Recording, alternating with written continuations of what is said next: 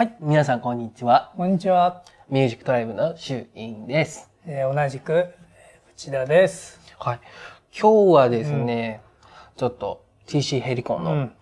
プレイシリーズですプね。レイシリーズ。はいうんこれなんか違うの？そうですね。色、まず色が違います。ね、これさ、例えばさ、あ、なんか、はい。俺この色がいいよ、これにしようっていうのがダメなの、そうですね。一応色で分けて、ちょっとタイプが違いまして、うんはい。こちら、内田さんが持っている黄色の方がですね、プレイエレクトリックなあので、エレクトリックだからエレキギターとか。そうですねあ。その通りでございます。あ、そうなんだね。で、こちらの黒の方がプレイアコースティックになります黒がアので、コースティックなんだね。はい。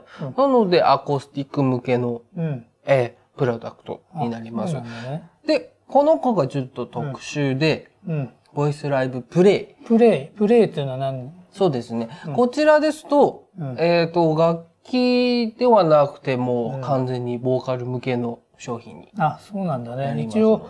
インストゥルメントっていうか、一応楽器とか使うものによって色が違うんだね。そうですね適当に青がいいから青とか、じゃあ、ブーなんだね。ブーでもないんですけど、ちょっと楽器使いません、みたいな感じになるんですよそんなになね。っちゃうね。そうですね。うん。はいなるほどとね。いう形で。うんで、えっ、と、内容としては、えっ、と、ボーカルうん。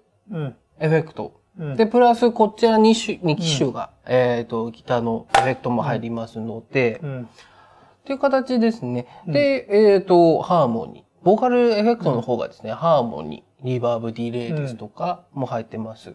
で、えっ、と、こちらのエレクトリックの方ですと、ちょっと、えっ、と、ディストーションですとか、歪み系も入ってますここ。ら辺も入ってるんだね。そうですね。うんで、こちらの Play Acoustic の方ですと、ちょっとうん DI うん。が搭載されています。で、えーこちらの3機種、えーかなり人気ありましてですね。